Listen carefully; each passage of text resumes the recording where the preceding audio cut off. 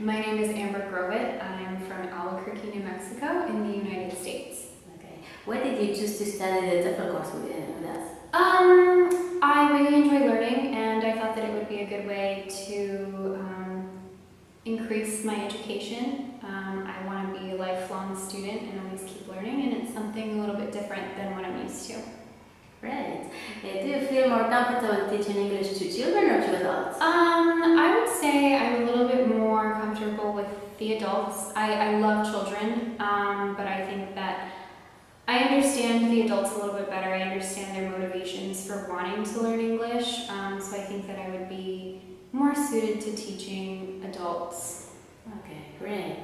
Um, do you think uh, we have helped you with lesson planning? Absolutely. Um, Carolina, our teacher, is very, very helpful in giving us really good strategies um, to plan lessons for all levels, beginners, intermediates, advanced, um, and we a lot of practices with each level, so I feel very prepared um, to teach lessons. I've taught quite a few already, and um, they've gotten better with experience, so I feel very prepared now because of, because of the training that we had. Great. Do you think we will help you in the future as an English teacher?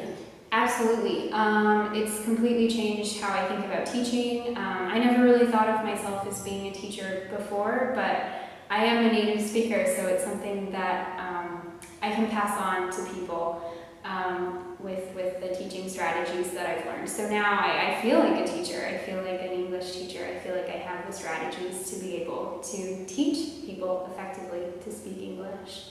Okay. Thank you very much. Of course.